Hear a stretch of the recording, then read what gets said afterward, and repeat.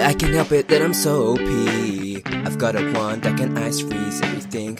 I'm cracking gems and I'm causing havoc. When I laugh, they scream, and when I zap, they freeze. I've got a topaz skill that they get infused in. A shopping list that's full of humans. I've got them frozen like a dark magician. When I talk, they look because they're forced to listen. Well, I may be a real small gem, but I've got your power times 10. So strong that I can take down towers. I'm so freaking overpowered.